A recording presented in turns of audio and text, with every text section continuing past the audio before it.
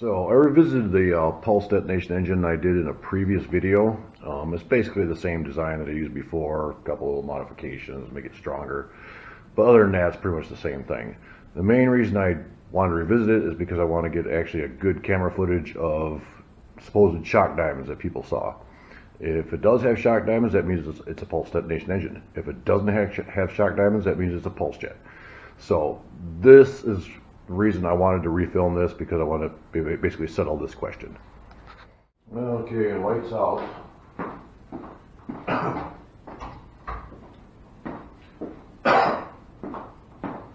We'll see what we can see. Hearing protection is definitely required because it's very loud.